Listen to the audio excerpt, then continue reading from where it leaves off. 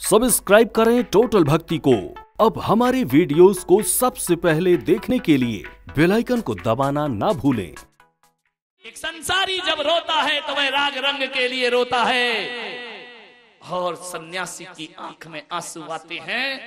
तो इसी बात के आते हैं कि कितने जन्म हमें अभी और धारण करना पड़ेंगे, कितने जन्म इस चौरासी के चक्कर हमें लगाना पड़ेंगे। सोचना है आपको, जीवन की अंतिम नियति, आज नहीं तो कल कल नहीं तो परसों परसों नहीं तो बरसों, और इस जन्म में नहीं तो अगले जन्म में, और अगले जन्म में नहीं तो बत्तीस जन्म के बाद, और बत्तीस जन्म भी नहीं जब भी मुक्ति का मार्ग मिलेगा, है नादान इंसान, संसार के मार्ग हज़ारों होते हैं, लेकिन पिच्छी कमंडल धारण किए बिना मुक्ति की प्राप्ति नहीं होती है।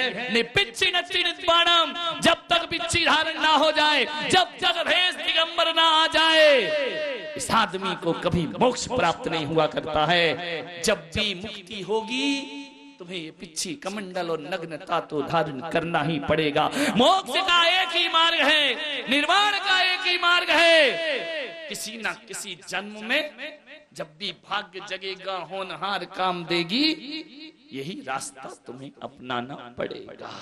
नादानो, जब रास्ता एक ही है और किसी ना किसी जन्म में ये धारण तो करना ही पड़ेगा, और सभी धारण करेंगे इस पंडाल में जितने और भाई इसलिए करेंगे जिनेन्द्र भगवान की दीक्षा कोई अभव्य नहीं देखा करता है, सबके अंदर भव्यता हुआ करती है, सम्यक हुआ। यहाँ आकर बैठे हैं। अभी ना जाने कितने लोग राग रंग में लीन होंगे, संसार की थारी मारी में लगे होंगे। तुम्हारे भव का किनारा आ चुका है।